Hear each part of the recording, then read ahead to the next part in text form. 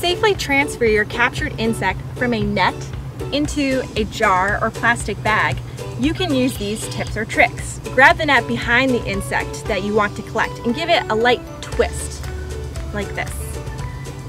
This will stop the insect from coming out the back of the net and allow you to trap it.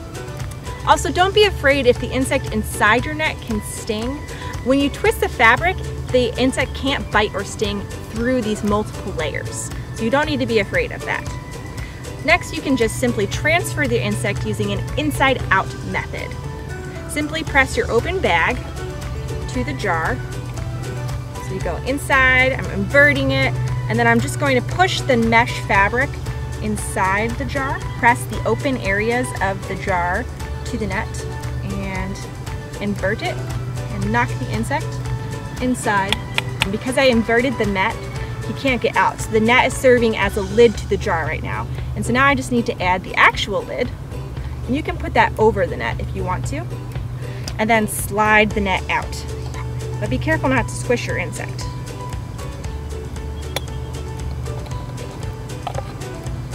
That's one method. So this is called the inside out and you just invert your net and push the open sides of the net to the open sides of the jar until the insect falls in.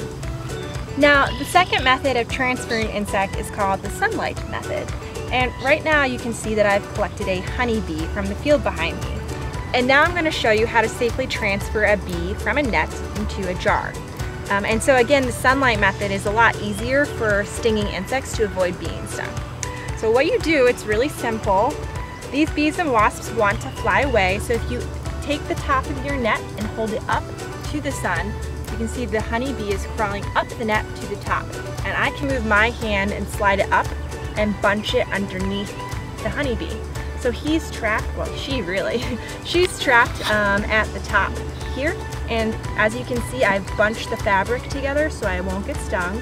Um, and it's really safe to hold a honeybee like this. Um, it's not aggressive. She wants to get out, but she's trapped in this little tiny circle of mesh.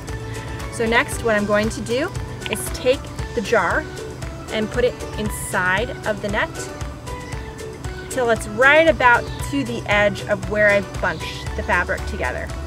And now I'm going to take my hand out of the net because I don't want to get stung and I'll bunch the fabric underneath the jar. And then I'll open the first bunch of fabric and slide the jar up until the honeybee has fallen into the jar. And so we can see that inside of this jar is the honeybee and the fabric is pulled tight across the lip of the jar so that the honeybee can't escape. And now what I'm going to do is slide the lid back into the jar. And I'm not going to take away this tight seal. I'm going to take the lid and place it on top of the jar, but not remove that fabric. And so now I'm holding the top of the jar and the bottom of the jar, and there's some fabric in between the lid and the jar. And now I invert it. And because of the sunlight, the bee moves up, and I can slide this lid out again and put it underneath without the bee falling down because it wants to escape and move up. And so now it's still trying to move up towards the sunlight and we have a bee inside of a jar.